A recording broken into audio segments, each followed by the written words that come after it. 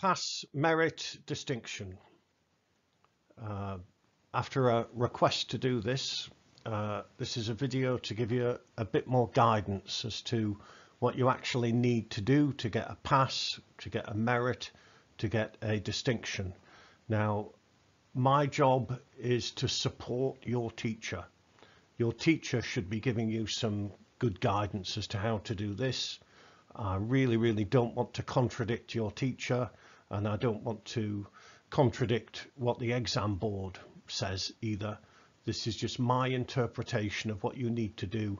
I have marked a lot of these things and I think I've got a pretty good idea now as to how to do it.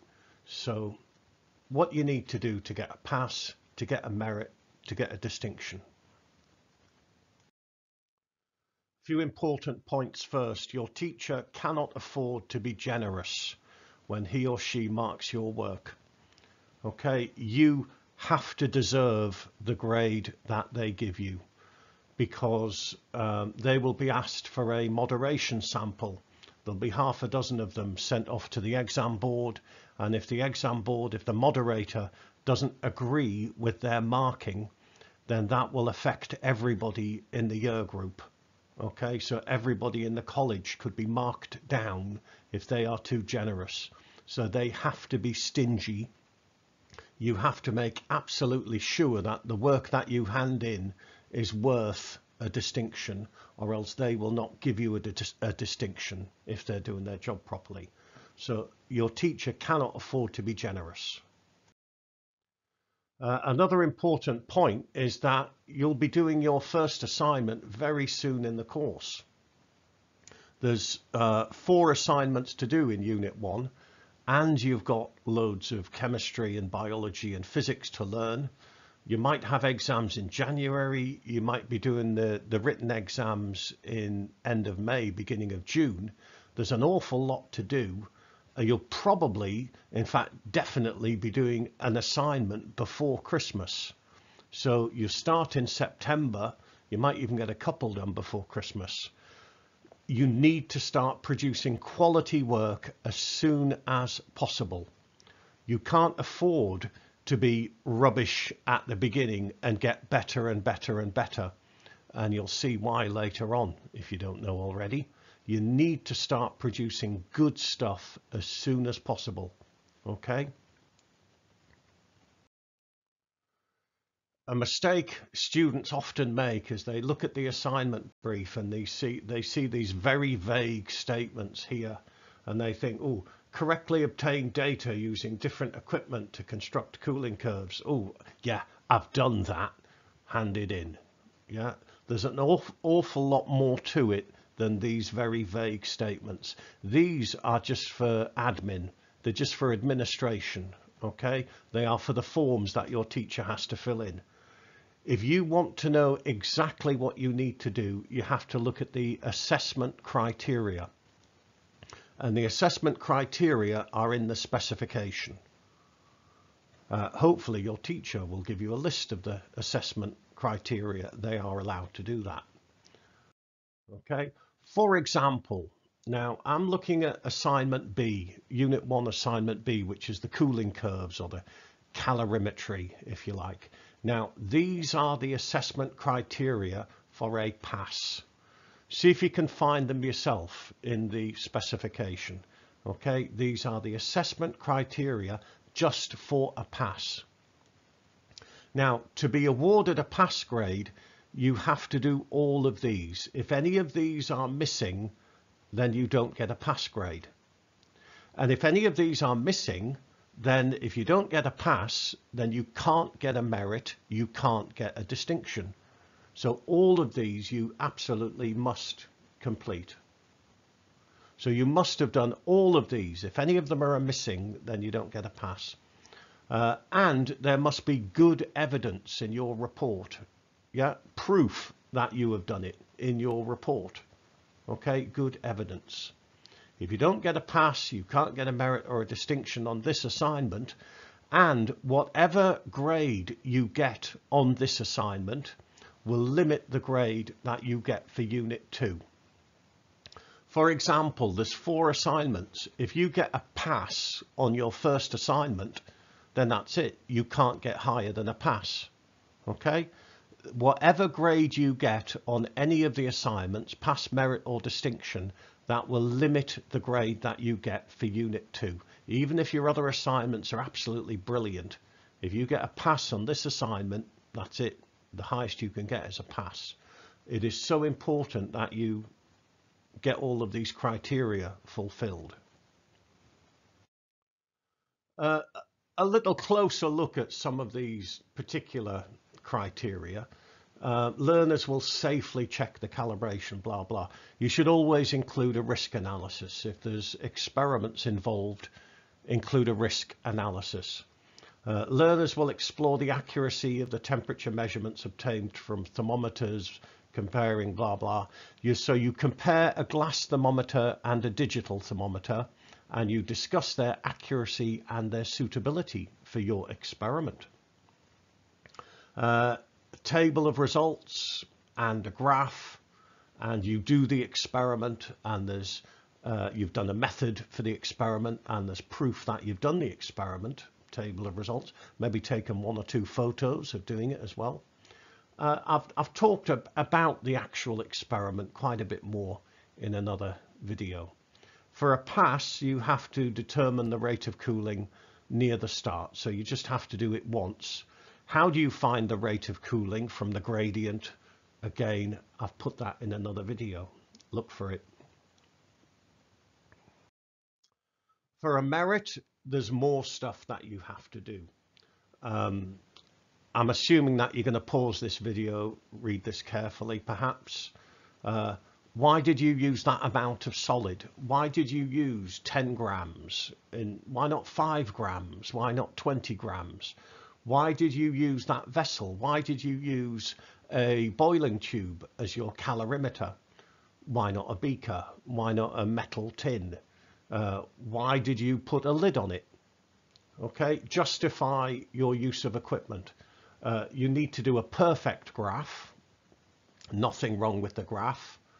Um, you have to get the rate of cooling, de determine the rate of cooling at three points on the graph. Um, this next one, describe the motion and, and, the forces between the molecules when it's a solid and when it's a liquid and when it's changing state and explain it. That is so often missing for some reason, you know, students hand in work and there's bits missing. Most of my students do listen to me most of the time. Some of them seem to have a bit of a brain disappearance and there's bits missing. And if there's bits missing, as I've said on this video probably half a dozen times already, then they cannot award you that grade. And if that is missing, then you cannot get a merit. You have to talk about the motion of the molecules in the different states and the forces between them and how it changes as the substance solidifies. Uh, your graph should have three sections and in your analysis you should identify what's happening in each section. Um, now, distinction. I would not award a distinction to a piece of work that a good level of thought and time and effort had been put into. If you're if you want a distinction and if you're hoping to go into nursing or an apprenticeship or university or things like that, you're aiming for distinctions, okay? And you need to put plenty of time and effort and thought into your work and you produce a quality piece of work. Uh, most of the distinction criteria, if you study them, are actually in the evaluation, which is at the end of the report. So you've got to do a good evaluation. It's got to be at least a couple of size, sides, font size 11, plenty of detail, everything in there that needs to be in there. Okay. Um, there's another point here, which is they will be able to use the cooling curves of a substance to evaluate how close their values are for the melting points to literature, class values, uh, and explaining the differences between them. What I would expect to see is you've got your values for the melting point of stearic acid and paraffin wax. Uh, now put that in a table with values that a couple of other groups got. Uh, and you've looked up the values on the internet and you put that in the table as well uh, so that you can see the differences between them and you discuss the differences between them and you use those values to judge how accurate your answers were. Okay. So good job of the evaluation if you want a distinction. Here's a suggested structure for the report. I would have a title page uh, and an introduction. You know, in this assignment, we have been asked to blah, blah, blah. On the assignment brief, you'll actually be given a context. You work for a such and such company and you have been asked to blah, blah. That might help you with the introduction. For each experiment, method, results table, graph, analysis, evaluation. Method, step by step, what you're going to do or what you did. A results table, a graph, the analysis is where you work things out, calculating the uh, rates of cooling, things like that, working out averages. Yes, if you did it twice. Evaluation is when you discuss how good your results are, improvements to the experiments, etc. Look at the assessment criteria, what needs to be in there. Start each section, each big section on a new page, such as method, and then uh, results, analysis, evaluation. Start it on a new page. Uh, use subheadings. Don't ramble on. So many times students hand in work which is is just like a whole page and they haven't even got a paragraph break in there. It's very, very difficult to mark. It's very difficult to identify if they've done everything that they're supposed to have done. So, you know, plenty of line breaks, plenty of subheadings, include a risk analysis for each experiment. Hopefully you took several pictures, include them with your results. Uh, if you're aiming for a distinction, I'm repeating myself, do a good job of the analysis. Your teacher will use the assessment criteria to mark your work, so make sure you've got a copy of them and they can't afford to be generous. This is very important. The work you hand in must be your own. Even if you worked with two or three other people in a group, you were just in the group to collect results together. Everything else has to be your own work. Okay, don't copy of each off each other. Yeah, writing the report is an individual exercise. If you hand in the same stuff, if it's very, very, very similar to your teacher, then if, if you've copied it, they might not accept it. If you've let somebody else copy your work, they might not accept it. Uh, if you found something on the internet, don't assume that it's any good. This has happened to uh, at least one of my students in the past. They found this thing on the internet and they just copied it out and they handed it in and it was absolute rubbish. Okay, don't assume that anything you found on the internet is, is going to be any good. Uh, very important, if, if you've got any doubt, if you're not sure, then ask your teacher. Get your money's worth out of your teacher. Uh, the students who do well in my classes uh, nag me all the time. Dave, could you have a look at this? Is this any good? Have I written enough here? Is there anything else I need to add here? Could you have a look at this, please, Dave? Yeah, okay, then, yeah, yeah, great. You could add that bit there, make it a bit better, whatever. Uh, very often the ones that don't do very well are little quiet mice and they never bother me and they plod on in ignorance and they end up handing in rubbish and getting ropey marks. Okay, if you're not sure, ask your teacher. Okay, get your money's worth out of your teacher. They'll be delighted Okay, I'm all it, I'm never bothered if a student asks me a question. Brilliant, because you know I'll get good results. Yeah, because they'll do well. Ask your teacher if you're in doubt.